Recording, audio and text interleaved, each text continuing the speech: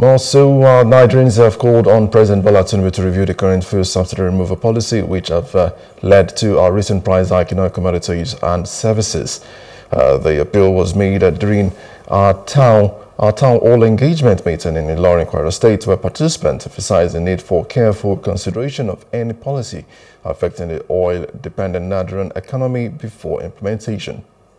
Plan and leather, leather products policy in Nigeria is championing the, the campaign to discourage the consumption of raw hides and skin, which is uh, called, known as pomo in Nigeria, by incorporating the affected persons into other sources of livelihood.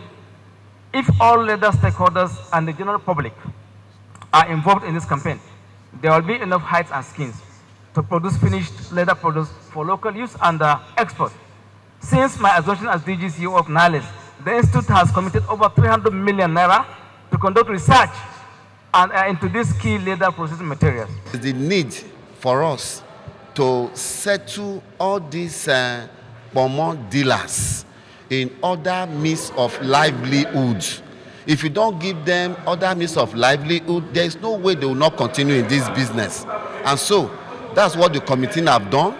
And also we are involved in sensitization to tell them there is no nutrient in pomo we all know it. Sustainable practices.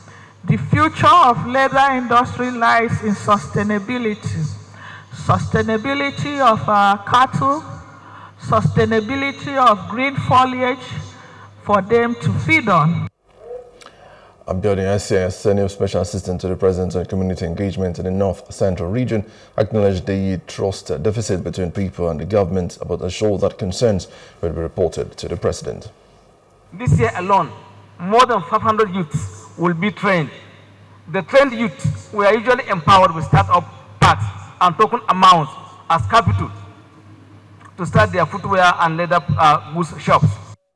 Hello. Hope you enjoyed the news. Please do subscribe to our YouTube channel and don't forget to hit the notification button so you get notified about fresh news updates.